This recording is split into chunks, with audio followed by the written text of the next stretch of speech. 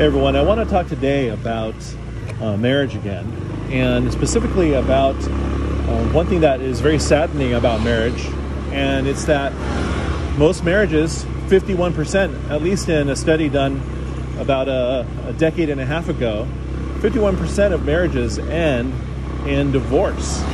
And that's a, that's a sad thing. And one of the reasons why people don't want to get married and just want to keep dating, whether casually or seriously, is because of the fact that uh, they don't want to get a divorce. They want they don't want to go through uh, all of that with through the money that it takes to get married and all the friendships and the relational commitments to uh, both sides of the family just for it to fail. Here's the thing a lot of people, the reason why they get married is because they want to be happy.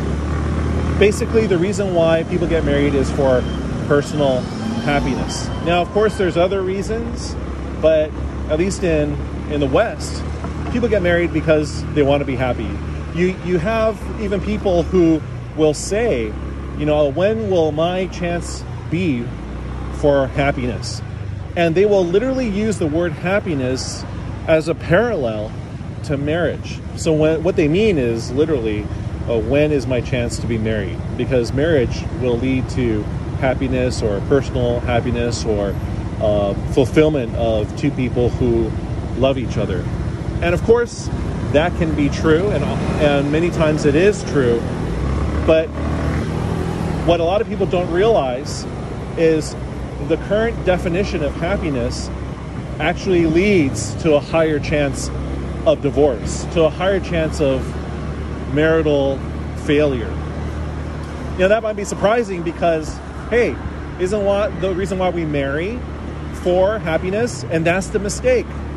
In our culture, we have equated the reason for marriage to be an extension of our personal happiness.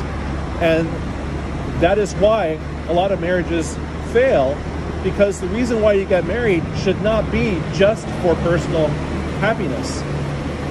Think about the definition of what someone means today when they talk about happiness. They, when they think about happiness, what it means is uh, having freedom to do what you want, being able to have uh, a lot of entertainment, being able to uh, consume things that will give you pleasure, uh, doing your own thing without much burden, without much guilt, uh, not being repressed. Uh, again, having all of that liberty to do what you want for yourself uh, and feeling uh, entertained and pleased by it. That is what a lot of people's definition of happiness inevitably means. Now, think about what marriage entails. And you'll find that what marriage entails is, for the most part, in direct opposition to personal happiness. Think about what you need in order to succeed in marriage. Just think about the vows that you will love and hold each other for richer or for poorer, in sickness and in health, to death do you part. And in order to do that, it's a life of sacrifice. That you decide to restrain your personal self interest in order for the good of the family or for your husband or wife. That you decide that you're going to live a life 24 7 of self sacrifice. That you're not trying to be personally happy, you're trying to make other people happy. That you have decided instead of pursuing your own goals to give up your own goals in order to pursue the goals of another or in order to pursue the goals of both of you, and that you be willing to do this for your entire life, mean, meaning the next 20, 40, 60, 80 years until you die or the other person dies, whether you are rich or whether you're poor, whether you're feeling good or whether you're feeling bad. Now, do you think a person with the current view of happiness, do you think that they'll be able to survive such a, a marriage when marriage, by definition, entails all of those things? No, no way. No way. The person will either have to adjust and change a great deal in order to survive marriage, or they give up the marriage in order to pursue their definition of happiness.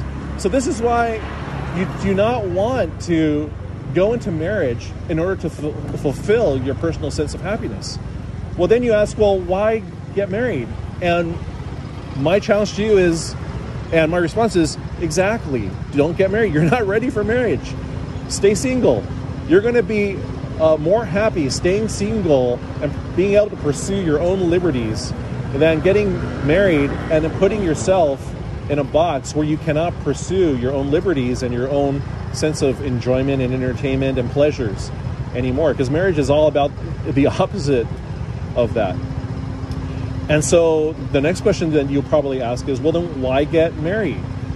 Well, you don't get married because you want to pursue happiness. Um, happiness will result if you focus on the purpose of marriage first. And that's what a lot of people don't get. And that's what a lot of Christians do get. And usually Christians have less of a percentage of divorce rate than uh, non Christians because of this, is because although they're still getting it wrong, they're getting it more right than non Christians are. And that the reason why you get married is to sacrifice yourself in a commitment for another person and also in order to start a family, to start the next generation, in order to know God, and in order to live out a life of holiness together as a family unit, knowing God, pursuing God, and sacrificing oneself for each other like Jesus sacrificed for us. Remember in Ephesians, it says that the picture of marriage is the picture of God sacrificing himself for his bride, Jesus coming and sacrificing himself, laying down his life for uh, his bride, the church. And so that is what marriage is about. It's supposed to give us that picture of sacrifice.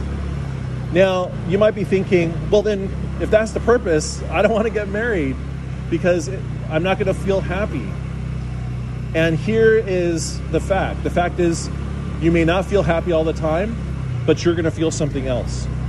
You're going to feel a deeper sense of meaning, you're going to feel a deeper sense of peace and you're going to feel uh, a deeper sense of commitment, something that happiness cannot give you. So you have a choice. Do you want just to feel happy, or do you want a sense of meaning and a sense of contentment and a sense of peace? You can't always have both. And that's the thing that a lot of people don't realize.